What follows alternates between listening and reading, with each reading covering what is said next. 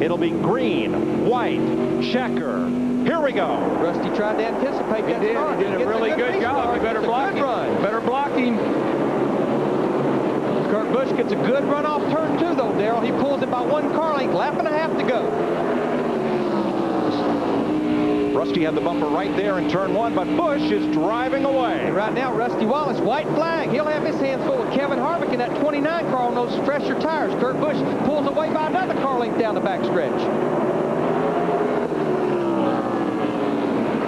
Kurt Busch McMurray slides up the racetrack off Kenseth's bumper. Checkered flag, Kurt Busch. Man. I think Matt Kenseth in the 17 kind of drop kicked Jamie McMurray in the 42 car. And here comes McMurray, and Oh, my there goes gosh. the 30 around. Here comes McMurray up here looking for the 17, and And after the flag, Sauter came down and ran in the back here of we go, here we go. And the line will start to form. I at told you, the though, all the Office. people- Here he comes. He's still got him. He's mad. Turkey, you. And he turned him around down on apron. You're right. And who did Johnny Sauter get down in turn one after I think he was just trying to get slowed down somebody running into him. Yeah. Meanwhile,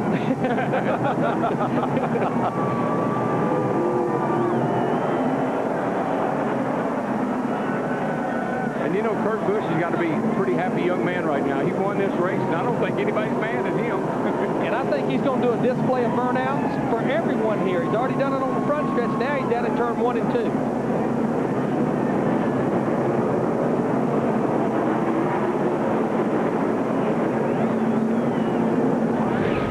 Welcome to the Nextel Post Race Show, brought to you by Nextel.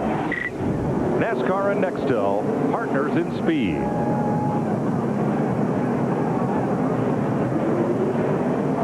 Oh, what do we show you first? Well, How about Jamie McMurray and Matt Kenseth? Jamie did a whale of a job to, just to hang on to his race car. Then he gets bammed all over the place. Now he says, that wasn't very nice. Now the race is over here. Checkered flag has been displayed. He's hunting that 17 car. I'm trying to figure out exactly where do I want to hit him at. Just rub into him a little bit, and then Matt says, okay, okay, so I, hopefully you're finished. Oops, maybe you're not. I had that coming, thank you. And Matt is with our runner-up. He's quiet from the race car, taking off his Hutchens device. Rusty, so close to number 10 here today. Yeah, doggone it, man. We didn't need them last cautions. I was all over his rear end, just getting ready to pass him when the caution flag come out. Then it come out again. Then it come out again. Then it was four laps ago. I lost the power steering heck. His hard thing is hard as hell to turn. So that's it. Man, I wanted that bad. So close. It looked like he came close to his bumper going into one there on the restart. Yeah, I got down there. I just couldn't turn it. The thing was steering so hard I couldn't get the thing wheeled around on me. I just, uh, yeah, it was just a racing deal, you know. It was green, white, checkered. You just got to do what you can do. And uh, we had a good second place run. Had his fastest car in the field all day long. And man, I just hate to come up short like that. To Dick. Matt Kenseth finishes fifth. What was going on at the end between you and McMurray? Uh, it was a good run. It just, uh, you know, Jamie got into me by accident down there because I slowed down for the corner, and uh, I got back into him here a little bit. But, you know, no harm, no foul. He didn't wreck me. He just knocked me out of the groove, and I did the same thing to him. So, um, some, you know, they say nice guys finish last, I guess. And I just, uh, you know, try to be nice, and sometimes you're on the receiving end too much, you feel like. So, uh, it's no big deal. I mean, he didn't wreck. I didn't wreck, uh, except for when he wrecked pit road. wasn't necessary. But other than that, it was a great day for our DeWalt car. We didn't have a very good car. We just uh, survived all day the best we could, hung in there, and, um, you know, waited, waited until then and got some track position when we needed it. And another top five finish. All right, thanks, Dick Berggren. That's Kurt Busch.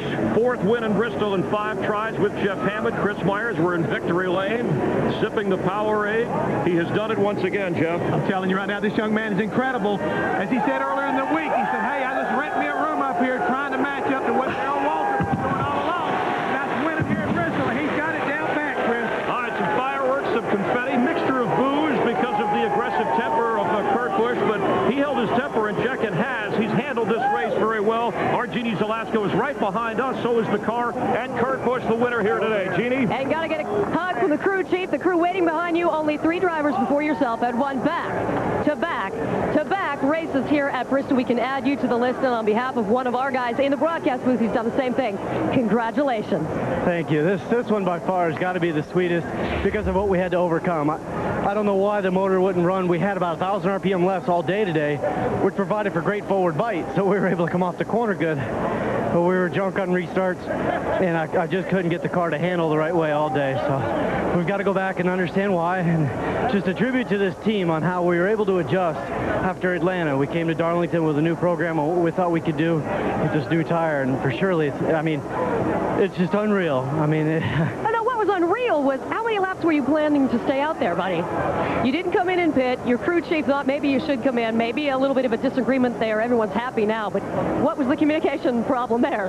we had 20 laps on our tires and it was about 140 to go and I looked up in the mirror and a couple guys didn't pit behind me so I just jumped in front of that cone as far as the commitment cone and stayed out but lo and behold those guys were a lap down so it was a decision that I was wrong on and I had to bail myself out on it's just an awesome day for this group 40th anniversary for Sharpie they brought up a special paint scheme. Again we got this thing in the victory lane. Phenomenal day. So just all of our associate sponsors were Coca-Cola Kraft Visa Gillette Young Guns.